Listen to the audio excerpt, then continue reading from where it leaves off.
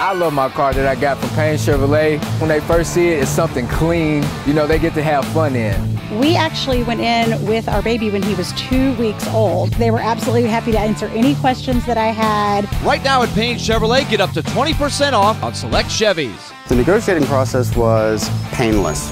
Payne Chevrolet in Springfield. Nine decades, three generations, one tradition. I got what I asked for at Payne Chevrolet. That's the honest truth. Two vehicles collided at the intersection of Tom Austin Highway and Nicholas Drive Friday morning. The collision caused one of the vehicles to flip over onto its side. However, according to officials, everyone escaped the crash without injury. The crash occurred directly in front of the Springfield Walmart just before 7 a.m. Friday morning.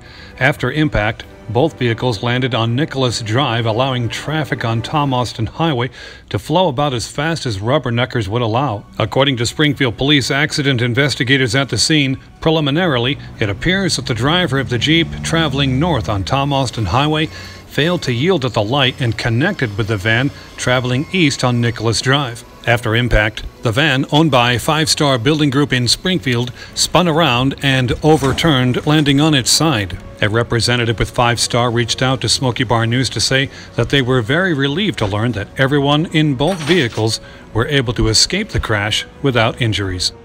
From kids to pets and parties. Sometimes life's best moments get messy. And for everything life throws at you, there's Carpet One Stainmaster National Sales Event. With store-wide savings up to 50% on select Stainmaster carpets and more. Our beautiful guarantee means if you don't love your new floor, we'll replace it free. The Stainmaster National Sales Event, only at Carpet One. Stop worrying and start living. Visit Carpet One today.